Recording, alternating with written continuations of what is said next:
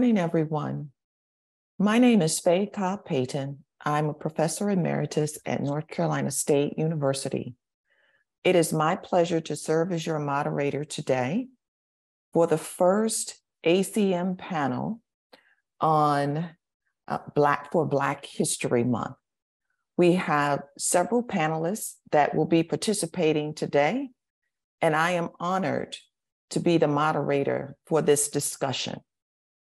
I would like for each of the panelists to introduce themselves by telling the audience your name, your affiliation, and your role within your organizations. And so I'll start with you, Happy, and then if you could tag someone else, and we'll get started. Okay, thank you, um, Fay, and um, uh, good uh, morning, everyone. I'm talking to you from Dublin, so it's almost in the evening. I almost said good evening. So my name is Happy Sithole, and I am affiliated with uh, the National Integrated Cyber Infrastructure in South Africa. This is a government initiative under the Department of Science and Innovation, and we are operating from the Council for Scientific and Industrial Research. I'm happy to be involved in this conversation today. Thank you. Tag the next person. Okay. Martez. Great. Hi, everyone. Um, my name is Martez Mott. I'm currently a senior researcher in the Ability Group at Microsoft Research, located in Redmond, Washington, in the United States. Um, and there, I mostly conduct research in the fields of um, human computer interaction and accessibility. Um, so, um, next, I'll take tag Diana. Hello, everyone. I am Diana Burley. I am Vice Provost for Research and Innovation at American University in Washington, D.C. Uh, I am also a professor at AU, uh, professor of IT and Analytics in the Kogod School of Business, and a professor of Public Administration and Policy in our School of Public Affairs. Uh, and my area of research is cybersecurity with a particular focus on building the cybersecurity workforce. Happy to be here. Juan, over to you. Thanks, Diana. Hello, everyone. I'm Juan Gilbert. I'm the chair of the computer science department at the University of Florida, where I'm an endowed professor and chair, and my area of interest is human-centered computing and computing for the social good. All right. Thanks, everyone. I appreciate those introductions. So let's have some discussion. Um, this is the first for Black History Month, first panel. Um, a number of us are on the ACM um, Diversity Council. Some are on other committees within ACM. But I'd like to talk to you and ask, could you share with the audience key highlights of your career and your journey to the computing industry? And so I'm going to start, I'm starting always to my, the boxes to my right. So Diana, you're up first in this instance. Sure. So um, I I have had a I think windy path um, mm. to my present position. Started off as a faculty member uh, and have maintained faculty member status throughout my career. Um, but after finishing graduate school at Carnegie Mellon University, I um, entered the professoriate and and focused on how to um, how to think about the integration between social uh, and human behavior and technology uh, and computing uh, and migrated toward cybersecurity from that area. Um, went to a couple of different universities, started at Indiana University, moved to Syracuse University, uh, and then I did a stint at the National Science Foundation as a program officer. And that's where I really began to um, get a, a, broader view of the computing world across the United States uh, and the types of issues that, um, that our colleagues were addressing, um, both from a subject matter uh, perspective, but also from growing the, the workforce. Uh, and understanding the different diversity um, challenges that we face as a computing discipline. Um, I began my involvement with ACM early in my career and have done uh, a, a, couple of different things for the organization. Um, most recently, uh, serving as the co-chair of a global task force to develop the first set of curricular standards in cybersecurity. Uh, and in fact, I'm leading a, a, a follow-up effort um, to update those standards as we speak. Um, so those are just some of the some of the highlights. All right, thank you. It sounds like um, we have a, a, few themes, and I'm catching catching the responses to see if your themes pop up as well. So Juan, you're up. Thanks, Fay. Yes, uh, similar Diana, it's, it's a windy road.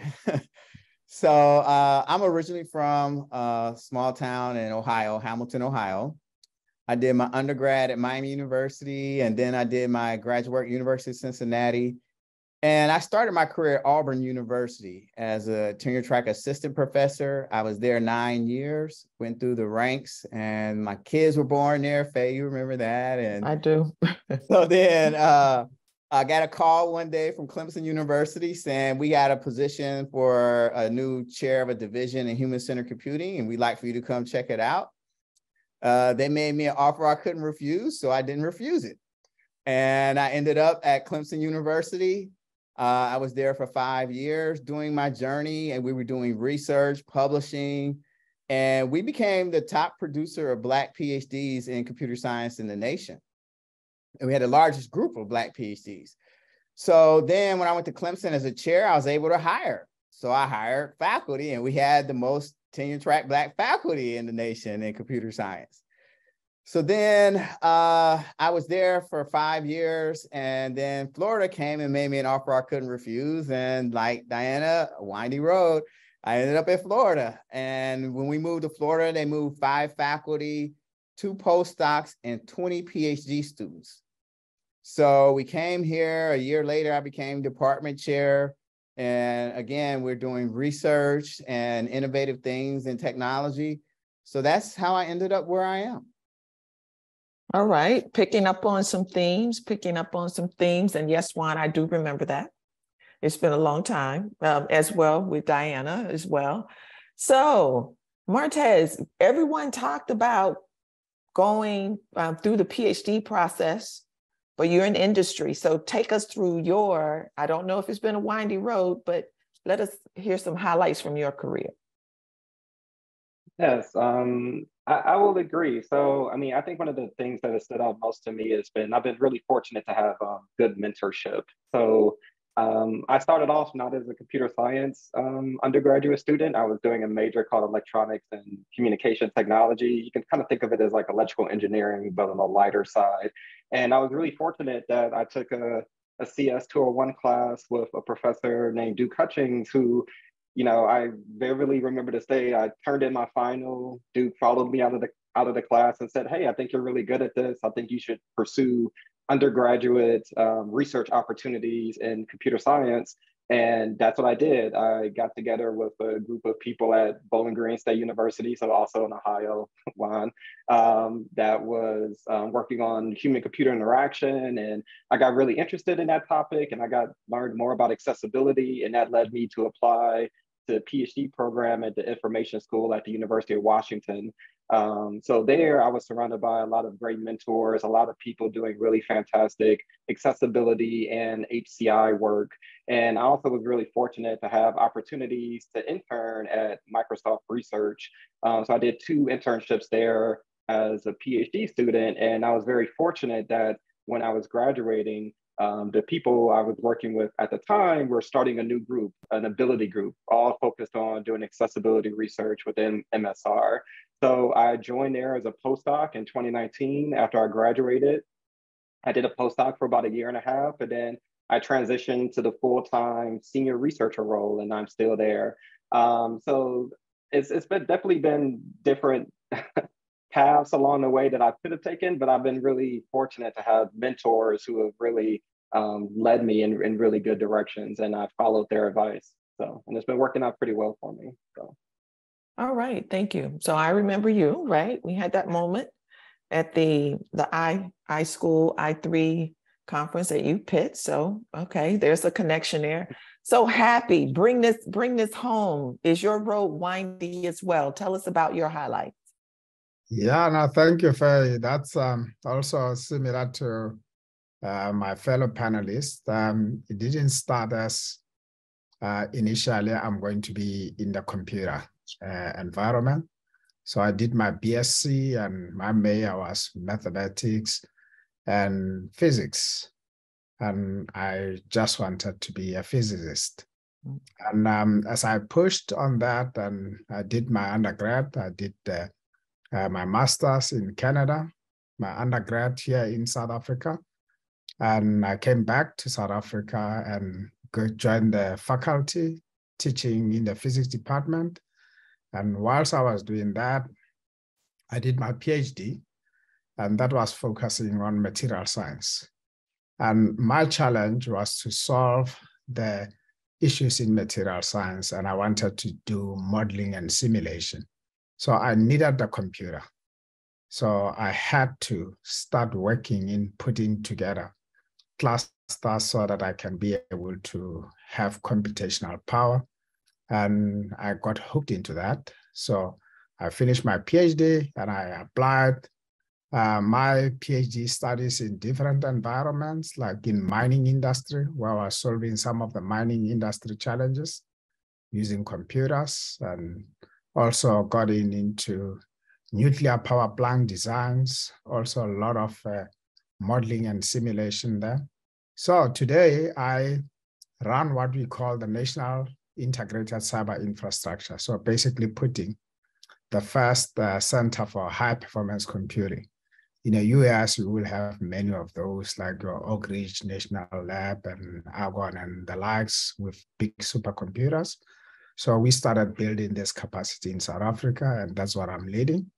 And, and, and today now my role has increased from there.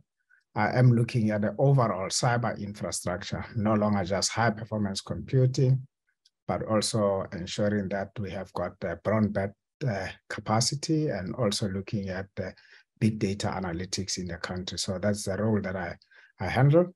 But um, the other thing is uh, to try and expand this uh, for the whole of the African continent, uh, pushing on collaboration amongst African countries in using computing to solve some of the challenges in the continent. All right.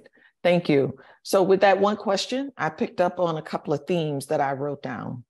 I heard winding roads, right? Paths that sort of up, down.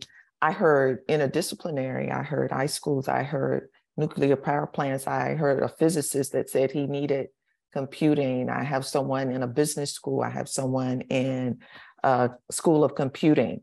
Um, interesting points that um, out of your work, Diana, you and I both were program officers at the National Science Foundation, which gives you sort of that national and sometimes global perspective on what's happening in computing. And you talked about the challenges. And um, Juan, you really talked about being top producer of PhD students and sort of taking that model on. And, you know, Martez, you talked about the importance of um, REUs, which is something I'm sure Diana, like I did when at the National Science Foundation, I know Juan, you had plenty of REUs and that research experience, how important that is.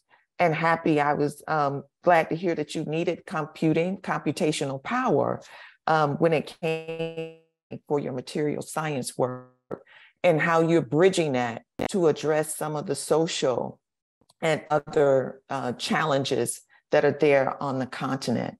So let's talk about some of those challenges. Um, what do you see to the panelists? What do you see as some of the challenges, but also some of the opportunities for the computing industry at this time? And so, Juan, we're going to start with you. Well, I think there's challenges uh, with respect to Oh man, there's a lot of them. But when we look at our, our opportunity to broaden participation in computing, for example, there's a challenge in that acknowledging that you want to do that mm-hmm. and putting forth the effort to do it. Uh, it's easy to say, yeah, we should do that thing. but what are you going to do to make it happen? Taking the necessary action, and, and in some places in a political climate that is, uh, you know, contradictory to that. Uh, so I, I think that's a major challenge. I think the the benefit, uh, the upside to, to computing industry right now is that the pervasive nature of computing. When I was in grad school in the 90s and things, I still had to explain a lot about computing to people. Mm-hmm. Now, with computing being everywhere, everyone has smartphones and things, they understand the value of computing and the impact of it. So, the pervasive nature of computing enables us to reach the non scientific, the non technical community in ways that were much more challenging prior to this pervasiveness of computing. So I think that's an opportunity that we can leverage. But I again, I think the the challenge in particular is broadening participation in computing, especially in industry and in academia as well. Acknowledging that it has to be done is the easy part. Now, what will you do about it? Interesting. Um, Martez, how do you how do you respond to the challenges that you see currently, or responding to what Juan has just laid out? Yeah, so one one thing building off what Juan just described is is this kind of the pers- the pervasiveness of computing. I think necessitates the need for more um, exposure and communication with different fields. So I think that there is a big interdisciplinary nature that needs to kind of be accepted when we think about computing. So computing isn't an isolated field that acts independently from all the other pillars of knowledge that exist, it's actually quite intertwined and interdependent on a lot of other fields. So, especially if we think about some of the kind of emerging technologies, like a lot of these generative AI models that could pose different types of risk and also provide different benefits. But I think, for example, we need to understand these impacts at a societal level, not just at the technological achievement level as well. So I think bringing in more interdisciplinary schooling and education into these programs can be really beneficial as we create technologies that have far have much farther reach than maybe most people would have predicted you know decades prior and i would just say to add something else in my line of work i'm focused a lot on accessibility so thinking about how can we make computing devices, services, and applications more accessible to people with disabilities.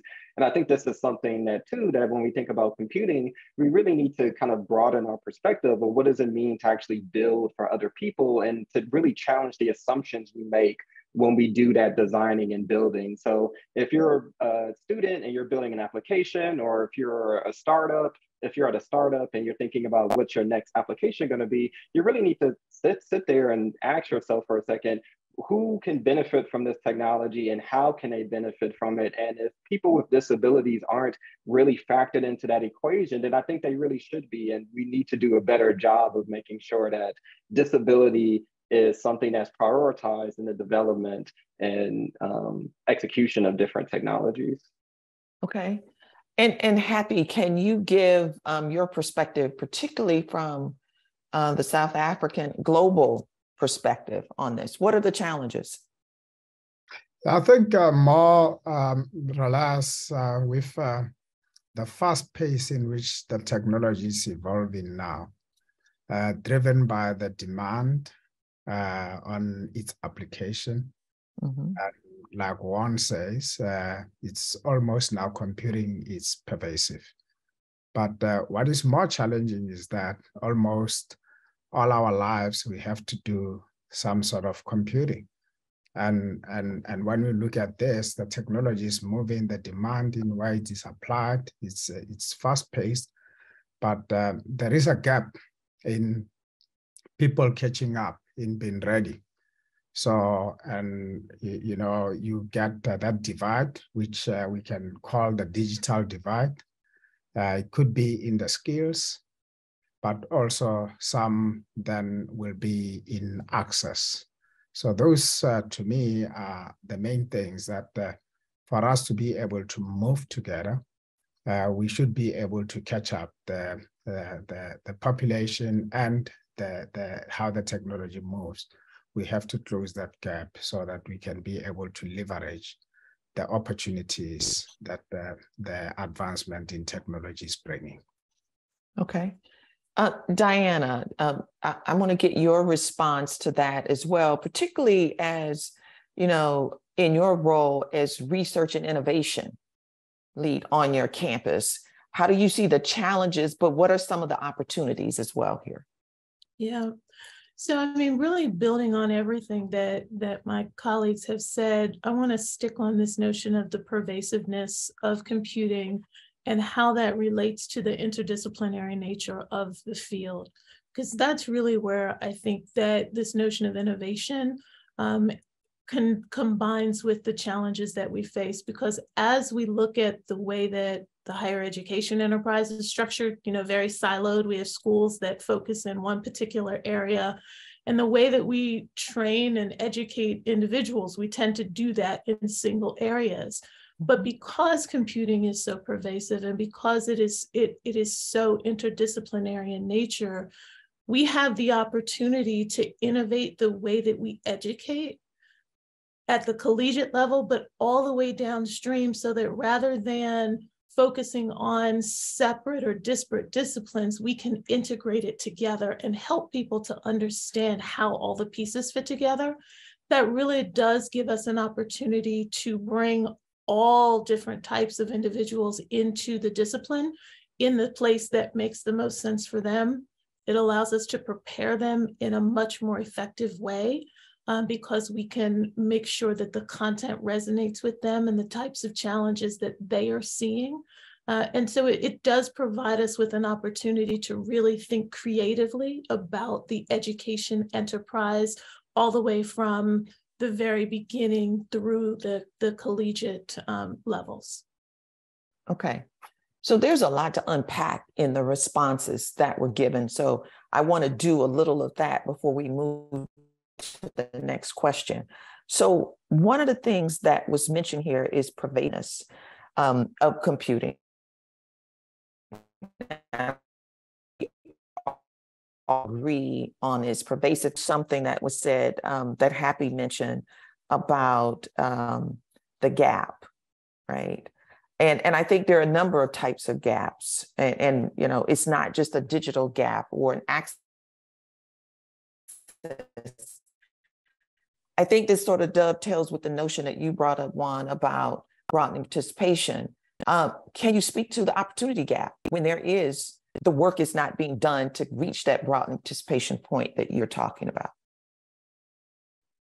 Yes, I mean the opportunity gap is real. That's we see this now, meaning, um, and I, I'm just going to be honest with people.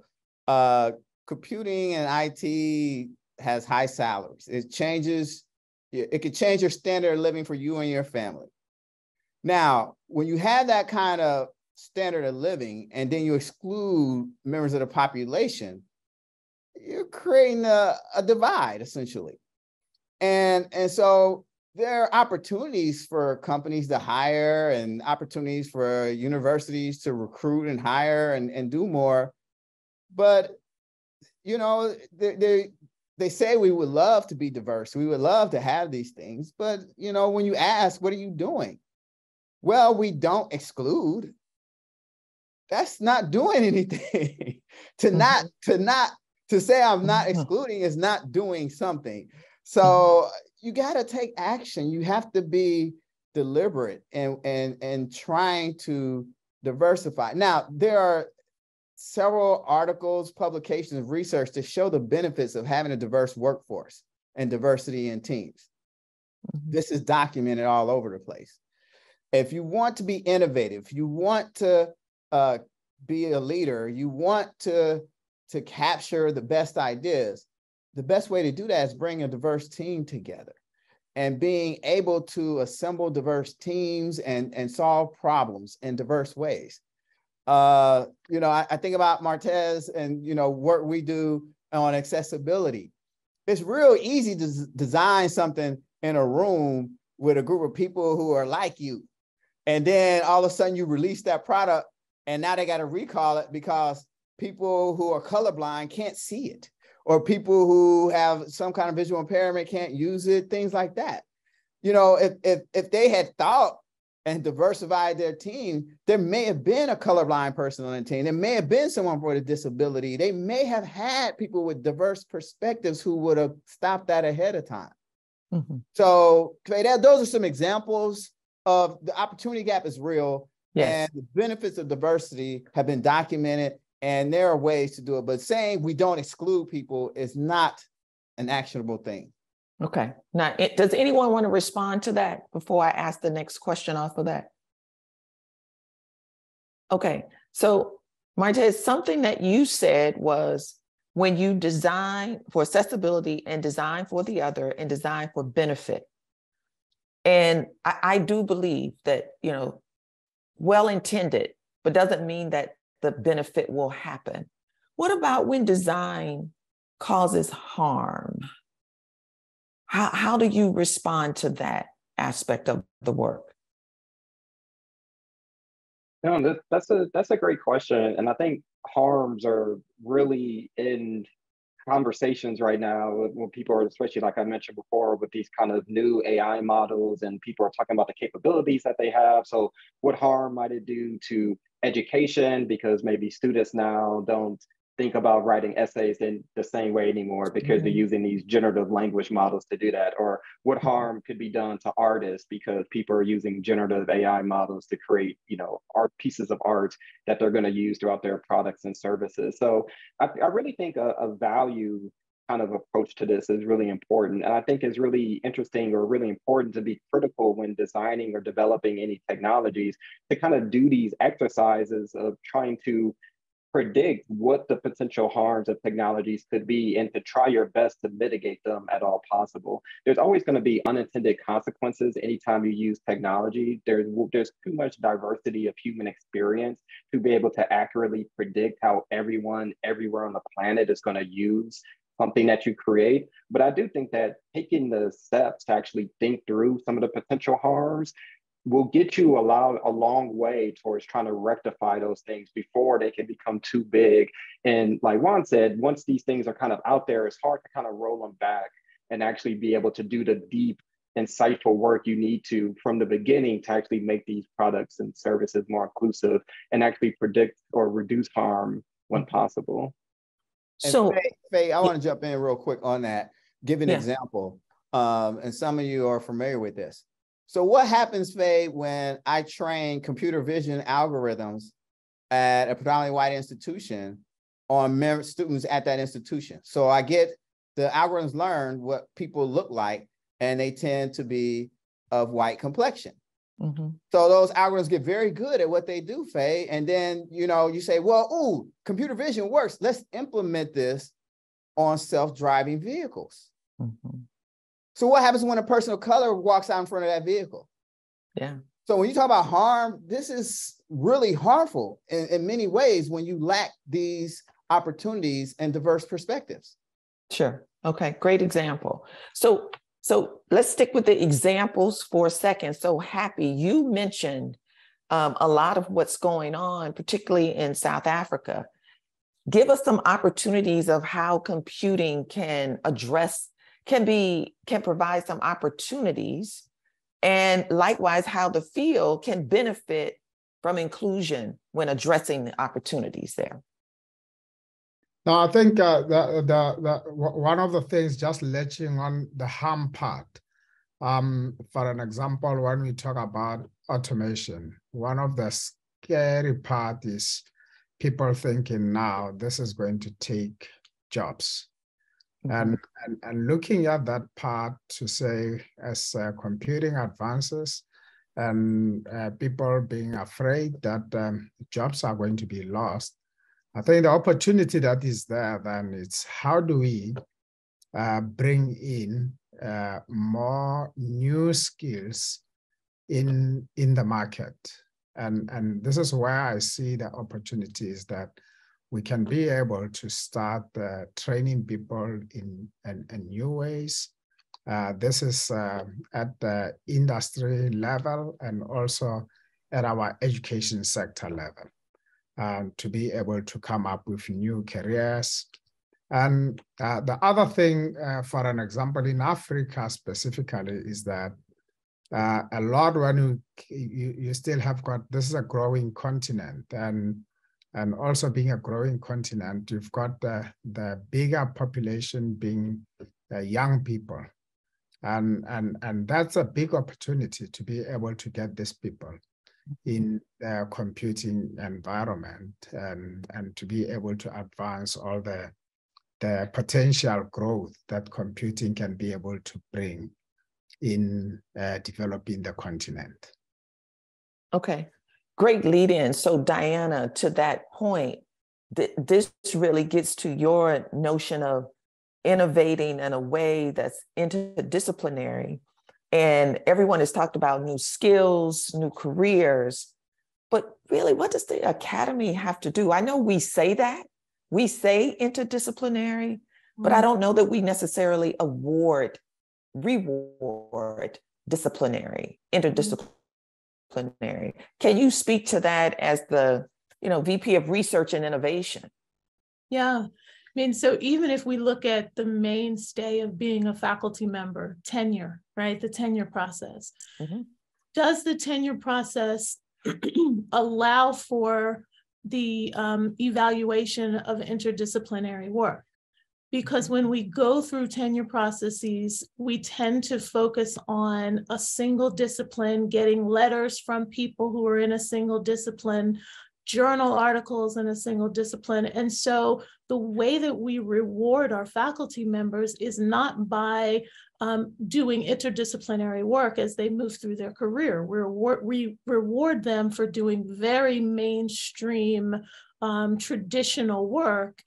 And then we expect them to transition at some point later, right? And so we've got to get to a place where we recognize the value of interdisciplinary work in our reward systems because that's what will then allow our faculty members to, to do the kind of work that we're talking about.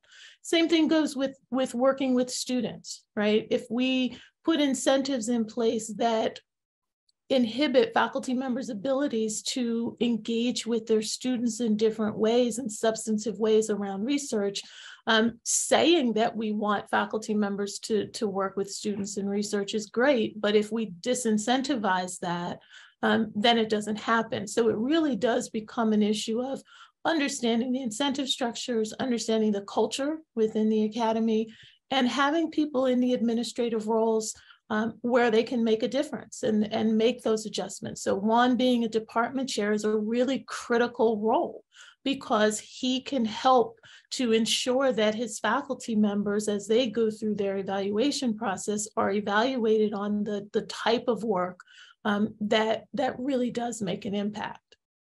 Okay, thank you. That's good. So you mentioned about working with students.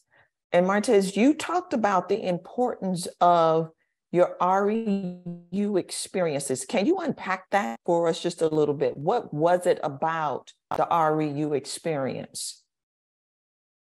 Yeah, so for me, it really opened up my eyes to just kind of like a, a different faction of what computing could be, what research is in general. I mean, I uh, first generation college student, so didn't really have others to talk to these issues about really get a great understanding of like what is research even what did what do people do in research at higher education levels?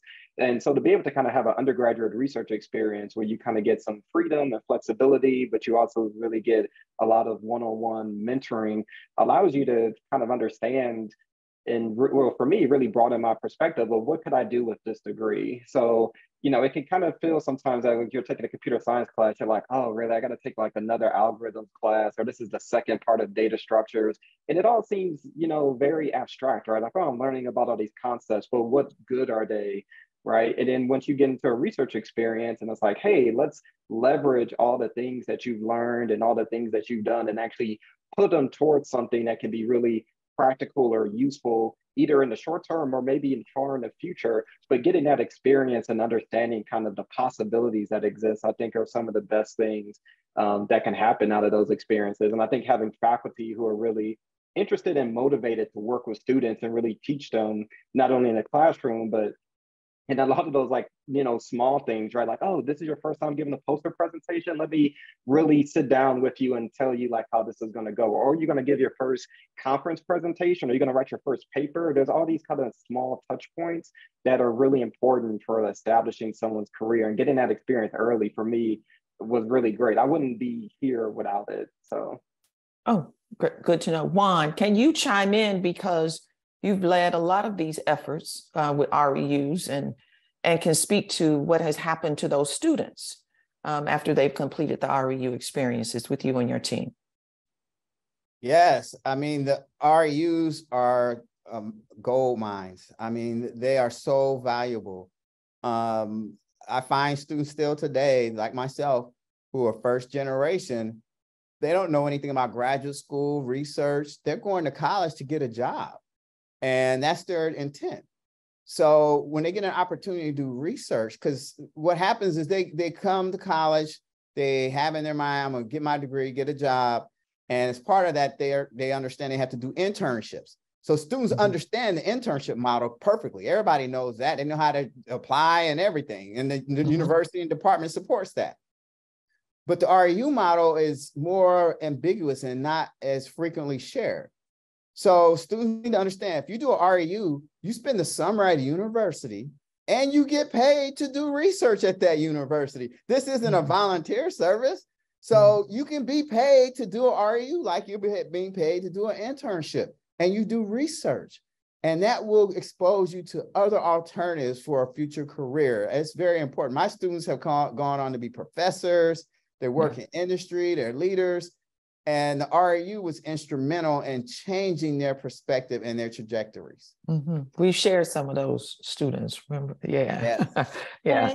Yes, please, Diana. Just on that, because sometimes our administrators or our, our, university faculty members think that you have to get external funds to support the REU programs and, and large scale programs, but you really don't. This is an area where as an institution, you can set aside funds to ensure that you're able to support student-based research during the summers and to ensure that um, providing those funds allows you to have a diverse set of students who engage with faculty members in research. Because if you don't provide those funds, what happens is the students who are of means, who can afford to not work or who can mm-hmm. afford to, as Juan says, volunteer, um, mm-hmm. they get those experiences but the students who need to work don't. And what you don't want to do is to have students who otherwise could be phenomenal um, research assistants um, who could prepare for graduate study going and working at a restaurant during the summer because you're not able to pay them and they need to, to work. And so I really encourage um, those who are in faculty or administrative roles who are listening to, to, to take a look at what does it really cost to support a, su- a student for the summer and finding those, those resources uh, so that you can encourage your students to participate is really, really important. Okay. Happy. And Diana, oh. real quick, Diana, the, the second part of your story that you're, you're mentioning is a lot of these students, they do well at the REU. And you know what? If they're at their home institution, the faculty member likes them. And guess what? They get paid mm-hmm. opportunities during the academic year. So, so mm-hmm. students, hear what I'm saying. Exactly. A, a, research experience in the summer, you get paid, you do a good job. And if you happen to be at your home institution, that professor or faculty member you're working with says, I like this student. I want to keep them on the project. So what happens? They're willing to pay you to do research during the academic year. And in some cases, Fay, as you know, you mm-hmm. can get mm-hmm. academic credit for this. That's right. So you can satisfy degree requirements by doing research and be paid at the same time. At the same time. Yeah. Uh, happy, is there something that you want to add about the idea of having undergraduate students uh, get involved in research. No, absolutely, I agree with this. Um, and and when I was um, at university teaching, um, one of the things that we're looking at was identifying students, say for an example, who are in physics and also have some background of computer science, and giving them opportunities to work in the high performance computing environment. And it started off with uh, simple things like go and search like journals and they read a little mm-hmm. bit about that. And, and today those students, they got hooked and they went on, did their research and they are now professors uh, in South Africa. Mm. Uh, the other thing that I, uh, I also saw is uh, specifically on high performance computing because traditionally did not start as a, a taught uh, subject in any faculty because it's integrated. So a lot of people who come in there, it's uh, via their experience in using computers in some way, like myself in material science. So you, you don't have people coming like an undergraduate being exposed at this. And, and, and now there is a program that uh, has been introduced where we call the Student Cluster Challenge. And also in the US, it was there, it was started by some colleagues in the national labs. And now all over the world, we're trying to bring in undergraduate students to start knowing about high performance computing at undergraduate, not to be exposed at that when they get uh, to um, uh, postgraduate at or research level. And it really enhances the quality of uh, the, the, the, people that we get uh, in the field because now they uh, they get exposed at an earlier stage. So I fully agree with those opportunities being given to students at an earlier stage. And I agree with Juan. I think uh, the students uh, who are listening, uh, these opportunities, for an example, ourselves, we did not get them when we grew up. So now they are there. So I will encourage the students to really take up uh, these opportunities and make sure that it can be the game changer in their life. All right, thank you. So um, next question, what are some of the best practices for securing securing research funding from a professor? We talked about some of those or and or a student and can you give examples that include the tech industry and government collaborations in your own experiences. So, Happy, why don't we start with you and then we'll go to you, Diana, after that. Yeah, I think uh, in, in in doing this, it's it's important uh, the, the the part that you said, you know, collaboration and partnership, and and for us to be able to provide these opportunities, it's not just going to be universities or governments that will do this. It will take universities, governments, and also industry. The program that I just highlighted on the Student Cluster Challenge, for an example, where uh, we have got uh, in South Africa, our government put in some money, but uh, we have uh, some of uh, the uh, computing industries who also put in money to get the students to be exposed in the research labs. Um, so it makes a, a, a, really a good opportunity for everyone to get involved and, and provide um, opportunities for students. So I fully agree with that method, and I think that's the only way that's going to take us forward. Okay, Diana? Um, so on the student piece, the only part that I would add as a best practice is that the students need to ask. Don't be shy. Go talk to your faculty member and ask them if they have research opportunities available because when they know that you're interested, they're more likely to, to give you the information and to let you know that the opportunity exists. I know one of the ways that we do that at AU in an institutionalized way is we actually have an office and a website that collects student research opportunities so that our students, even those who maybe aren't as um, as eager to interface with faculty members directly uh, can go to the website and start to get information on that. Um, on the, and this sort of ties in um, finding opportunities for faculty members with the interdisciplinary conversation. One of the things that we are seeing is that there are many more opportunities for funding, both from the government and from industry that um, if not require, strongly encourage interdisciplinary teams of faculty members. So bringing together the so social scientists with the computer scientists um, so that we are able to conduct research within context, right? That's what we're mm-hmm. seeing is that the, the world of funding is recognizing that grand challenges do require us to think from a problem-based perspective and to then apply the disciplines in a collaborative way. And so that is something that as you are seeking funding and seeking to understand more about what's happening in computing, find your colleagues uh, and, and build those teams together so that you can address these larger problem-based um, opportunities.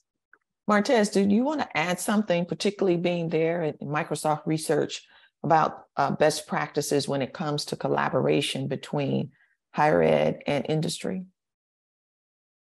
Yeah, I mean, I think what Diana just said there about building teams um, of interdisciplinary nature and making sure that there's kind of like a potential value add there, I think is something that's really important. I mean, I'll know from my albeit limited experience of seeing grants and other type of funding opportunities from the Microsoft research side, what I can say is that I do think that there is a strong desire for people to work with interdisciplinary teams that do have that mix of expertise and that can add some beneficial um, learnings to whatever research, you know, or whatever project that is going on at the time. And I will say that I think, you know, building connections with people in industry also does require some slight changes in language or how to influence yes. people. I do think that you know, mm-hmm. as a, as a graduate student, we learn a lot of the NSF terminologies that we think will be beneficial in talking about the scientific merit of the work or what are the broader impacts of the work.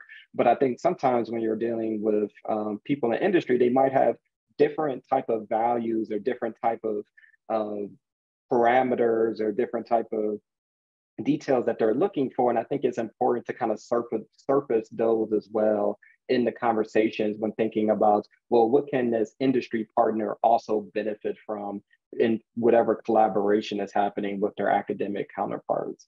Sure, very good point. Yeah, it is a language. It is a language interchange that can be very different. Um, and the scales of success measures often don't align. And so that takes work. And Juan, to that um, respect, would you like to add something to the responses that you've heard? No, they said practices. everything I they said everything I would. Okay, all right. So I want to go back to something that we talked about in terms of REU because we did get a question to come through. So we have a faculty member who's on the line uh, from a community college. And this person says, I have students that can't do REUs because they can't afford to leave their current job for the summer, even if they get paid for the summer. Who'd like to respond to that? I'll just say those those cases have to be evaluated on a case by case basis. Mm-hmm. I can't say anything generally to benefit or how that student could benefit from this without knowing more of the context. Uh, for example, is that community college near a major university? A lot of community colleges are. If they are, there may be an opportunity there. Again, I, I threw out the option of getting course credit. If they can't leave their job, then during the academic year, do it instead of taking, uh, if they're undergrad, instead of taking 15 hours, take uh, 12 hours and let three hours of it be research or something. There, there's other alternatives, but uh, I'd be happy to engage with people on the particulars for an individual on how to accommodate them. I do think there are options even for those students. Mm-hmm. I would add too that it, depending on the type of job, because I agree with Juan, it, it's definitely a case by case basis, but depending on the type of job and the employer, there may be an opportunity to link the research to something that's happening at work, mm-hmm. right? Where the employer would be willing to allow them a, a few hours a week to engage on the research topic if they are able to then provide those results back to the employer to help with some challenge that they're having in the workplace. So there's definitely creative options, uh, ways to to link those things together. So it's it's certainly worth exploring. All right, thank you. So we have uh, a few minutes. I do want to ask this question. This was not on your list, but you know, here on this panel, and this is a Black History Month panel, um, the role of inclusive leadership. We're going back to that very first question or a point that you raised, Juan, about broadening participation and doing the work. It is important to have uh, inclusive leadership. And um, I want just to ask a quick question because I see Martez, you're in industry and Happy, you're at a national level, and Diana, you're at the institutional level, Juan, you're at the departmental level. What do what does inclusive leadership and why what is inclusive leadership to you and why is it important in the space of computing at this moment, at this time? So who'd like to take that first? Okay, I can try and okay. First. Um, uh, for, for, for me, inclusive leadership, it's important that we can tap into all the uh, potential that we have.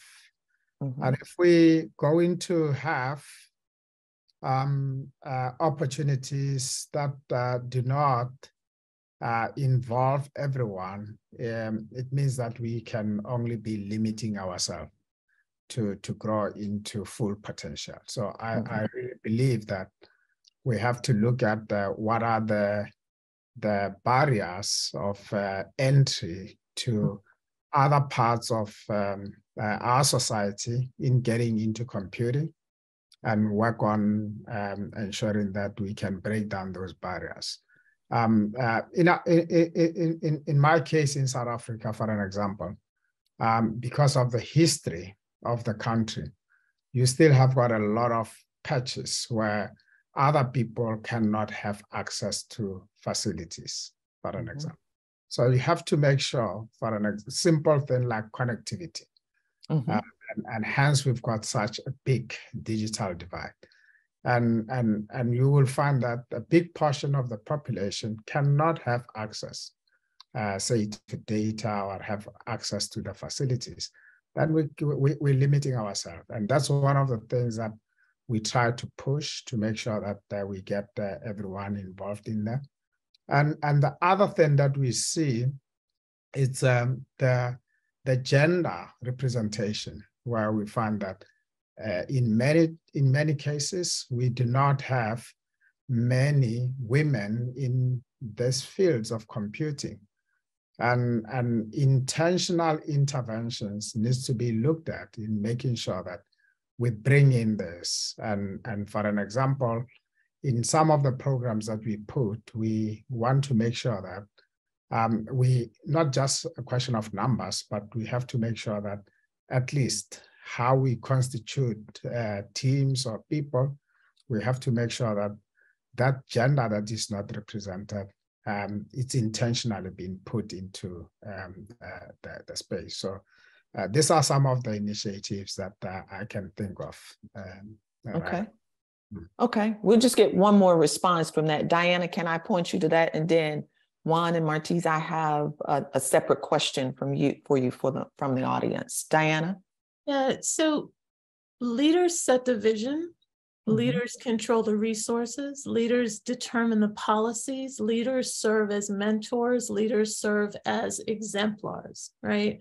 So having an inclusive community really does depend on the level of inclusivity in the leadership because that's what drives the organization. And so, if we're talking about different areas of computing, ensuring that you have individuals who are able to push um, push diversity and inclusivity in a number of different ways, in every different way, um, requires that that you have um, that level of diversity in the leadership ranks.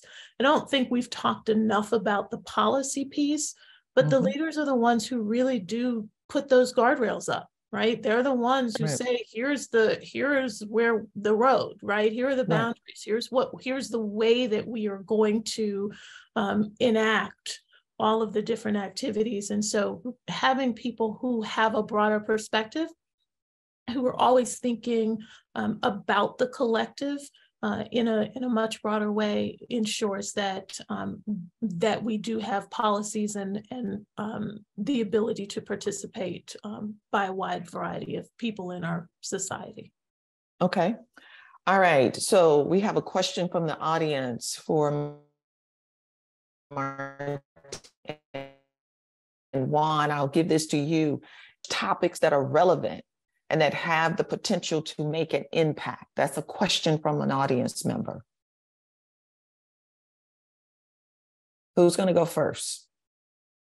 I can go first. And mm-hmm. I mean, I think just to kind of um, bring up themes that have already been discussed, I, I, do think that there's opportunities to look at um, places where interdisciplinary research could could really be beneficial. So for example, if you're a person who's in the field of computing and you really want to say like, hey, how can I make a difference or what can I do that's really impactful? I would really think about kind of what are your values and what do you think some of the world's challenges or problems are and to put your efforts and focus into working with or partnering with people who are working on some of those efforts. So, for example, if you're someone who's really invested in the future and you're really worried about climate change, then maybe work with climate scientists to kind of help develop better climate models or better storage or better sensors or whatever technologies might be needed for us to get a better understanding of what's happening to the environment, right? Or if you're a person who's really interested and understanding kind of more social um, dynamics between people and you're really interested in interconnectedness and what is social media doing to the kind of weak and strong ties that we have with people in our community then you know partner with sociologists or psychologists to really understand how these technologies can be built in a better you know a better more inclusive way. So that would be some of my kind of advice would be to, to seek out some of these things that people are really interested in these kind of societal needs or concerns and then partner up with relevant experts to help devise new solutions for those problems. All right, Juan, we need you to be real quick on this one so I can get my last question okay. in. I I agree Martez on everything. Uh, I think it's about passion. Uh, you know what what problems there are. You see it on TV, on social media, in the newspaper. Uh, think about ideas and use your technical expertise to solve them. Whatever you're passionate about, follow your passion. Mm-hmm. Thanks. All right. So, last question in the time that we have remaining. So, we want to close out um, the panel, you know, sort of on a high note. So, if we could go around robin and give maybe one or two examples of encouraging actions as we close out the ACM First Black History Month panel. Diana. Well, I, I think this panel is an encouraging action right? I mean talk about putting action behind um, behind statements that diversity and inclusion is important. Having a panel like this having uh, role models people from all across uh, the world from different types of, of backgrounds um, says that um, that acm is serious uh, about um, pushing for diversity, equity, and inclusion in computing. And so I, I would just use this panel as, um, as a great first step. Okay, happy? Ah, thank you, Fay. Um, I think um, what, what is important is uh, providing the opportunities for growth. And, and indeed, we need to be able to identify people who have got potential, mentor them, and, and, and, and make sure that they can be able to grow. So, yeah. And, okay. and with um, uh, Diana. This panel is uh, it's it's a good start, and we should uh, have more of this in uh, mentoring uh, young Black people to get into computing. Okay, Martez. Yeah, so my kind of final takeaway was just to be courageous. I mean, I know from my personal, like for myself, there's been a lot of opportunities that I either passed on or didn't apply to or you know didn't feel that i was um, right for or that i had the, the correct expertise or knowledge just because you know maybe i didn't see people that look like me in you know the environment that i wanted to be in or i didn't see people that look like me in in those spaces. So just be courageous put yourself out there and then try your best even when it doesn't seem like those opportunities might be for you. All right juan close us out. What are your encouraging words? Actions. Well, in society, there's no shortage of problems. Find something you're passionate about and change the world. You can do it. The fact, in particular, if you are from an underrepresented group, you're a minority, that's not a disadvantage, that's an advantage.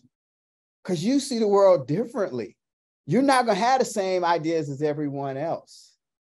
Use your skills, change the world. All right.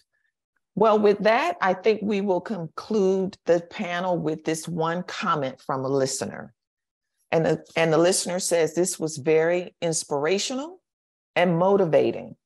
I am in my second semester of human centered computing and haven't seen much of us in the published works that we study or even in my class. So this was inspiring and motivating. So I want to thank each one of you. I was happy to be the moderator for this uh, event for ACM. And with that, we will conclude the panel and thank you for attending.